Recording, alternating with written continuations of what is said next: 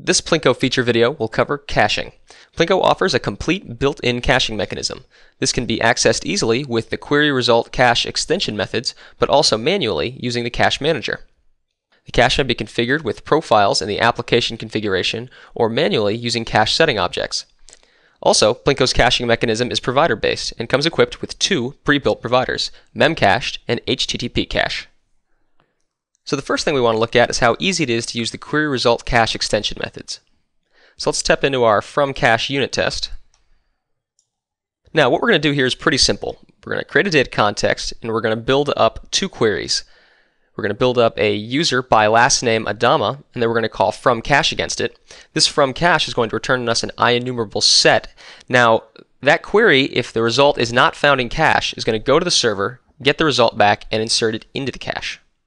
If the result is already found in cache, it's going to forego the database query and just pull it from cache. Same thing with the query below, only here we're going to call from cache first to default. So rather than returning a set, we're going to get a single entity. So, because we have two queries that are doing the same thing, the first set is actually going to go to the database and insert cache keys into our cache with the results. And then the second time, it's actually just going to pull them from the cache rather than having to go to the database. Now, a few technical aspects I should mention. First of all, the cache keys are being managed transparently behind the scenes. They are being built out from the query themselves, which are going to be hashed and turned into the key. This means that PLINQO is going to take care of your keys for you, and you're not going to have to worry about them. Also, when we call these methods, we're not passing in any parameters. We're just calling from cache and from cache versus default. This is going to cause the caching mechanism to use the default profile, which is configured in our app config but we'll look more at that later. So let's start by running these tests. Alright, I'm going to clear our log out here. And now when I hit F5 and jump to our next breakpoint, we notice here at the bottom that two cache inserts happened for two different keys. These were for our two different queries, and they built the two different keys, again, from the actual query itself.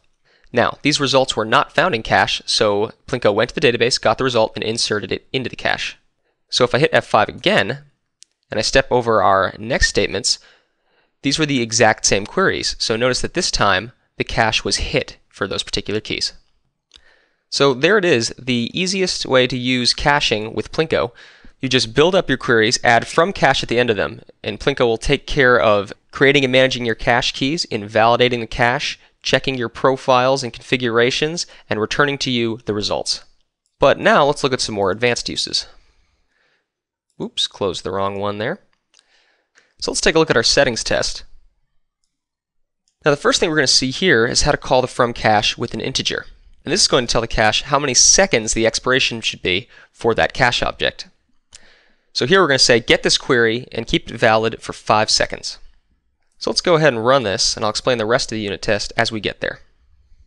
So again, I'm going to start by clearing out the log, pressing F5. So notice that we ran the same query twice, and down here we first inserted the cache key, and then we hit the cache for it. But this was set up to expire after 5 seconds, so if we continue one more time, we have inserted that again, because the cache expired, the from cache method knew that, so it requeried the data and reinserted it. Now, if we look at the next part of this unit test, what we're going to do here is actually build up a cache settings object and then pass that into the from cache. Now, cache settings is pretty configurable, so we're only going to show a relatively simple example, but here we're going to set the mode of the cache settings to absolute rather than relative with a number of seconds, and then we're going to give it the absolute expiration time of right now plus 3 seconds. So essentially, we're going to do the same thing we did above, only this time we're going to just go about it a little bit differently. So let me clear out the log and press F5 again. And again, notice essentially the same thing is happening. We made the query, inserted it into the cache, and then the second query just hit the cache and didn't have to go to the database. Now that we've waited an additional three seconds, we can hit F5 again. The cache expired using the new settings object, and it inserted it back into the cache from the third query. So I'm going to clear out that log. And let's look at the last part of this unit test. Now here, note the cache empty result property being set on the cache settings object. We are setting this to false. This means that if we bring back a query that has no results, it will not be cached. So with our next two queries, we're building them out to say by complete date of date time now, and there should be no records resulting for that. So PLINQO should go to the database, find that there are no results, When they come back, it will not insert that into the cache.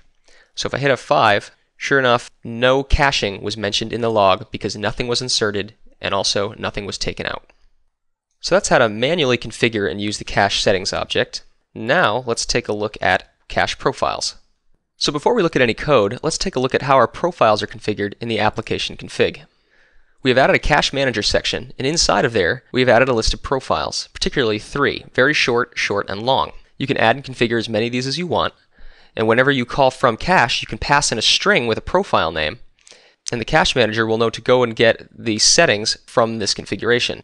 So in this case, all of these profiles are using a relative expiration with a duration of a certain time. Now, in our first unit test, when we called from cache and we passed in no value, it was using the default profile. So those queries were being cached for five minutes. Now, note that very short's expiration, or I'm sorry, duration is only three seconds, and let's go take a look at our unit tests again. So inside of the profiles test, we're going to do essentially a very similar thing to what we did earlier. We're going to create our data context and create our queries, and then when we call from cache, we're just going to pass in a string this time. And again, we're passing in the profile name of very short. So, like we did previously, we're going to get the query, insert it into the cache for three seconds, get it back from the cache, wait for it to expire, and see it get reinserted. So let's go ahead and run this test. I'm going to clear the log. And we run our first two queries, and we see we get an insert and a hit. And if we just wait one more second, we can run that last query and see that again it expired at the appropriate time for the very short profile and was reinserted. And so that's how easy it is to use profiles with PLINQO. Just create them in your app config, and then when you call from cache, pass in the name. So now let's take a look at the very nifty PLINQO cache feature of groups. So what we're going to do here is manually get our cache settings object from a particular profile. To do this, we call the cache manager.get profile and pass in the name. So in this case, we're going to pass in long which by the way has a cache duration of one hour. And then we're going to call dot with group against that cache settings object, and we're going to pass in a group name. This is going to set the group name on this particular cache settings object to video test. Then every query using that cache settings object is going to be associated with that particular group. Then later on, we're going to invalidate that group by passing in its name into the cache manager's invalidate group method. This is going to cause all the associated cached data to be immediately invalidated. So what's going to happen when we run this test is we're going to see two inserts. We're going to do an insert into the cache for our user query and our task query. We're going to immediately get back that same user query and task query from the cache. So we're going to see two hits. And then after we invalidate the group, we're going to call those queries again. So we should see two more inserts. So let's go ahead and run this test. Clear the log. Hit F5 just to run through all of it. And again, we see exactly what we expected. We inserted the two queries into cache, hit the cache twice for both of them, invalidated, and then when we called those queries again, they were reinserted into the cache. And that is how easy it is to use cache groups with PLINQO. And now we're going to look at how to cache items without using the query result cache extension methods. Obviously, there are going to be times when you want to insert something into the cache that is not just a query off the PLINQO data context. Doing this is very simple you just call the cache manager, which is located at codesmith.data.caching. And then there's three simple methods, set, get, and remove. Just set the object you want by specifying the type and passing in the key and value. Then you can get the object back by specifying the type and key, or remove it just by passing in the key. And all of this is going to use the existing caching rules. So because there's no mention of a duration or a profile name, this is going to use your default profile. Overrides are available to support taking in a cache settings object, a profile string, or a duration, just like the other from cache methods. So if we go ahead and run this test, all of our unit tests succeeded, so we can see that we inserted Marvin into the cache, we got him back successfully, and then we removed him successfully.